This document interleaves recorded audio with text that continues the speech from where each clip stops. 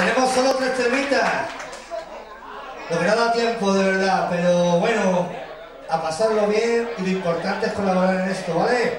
¡Ey!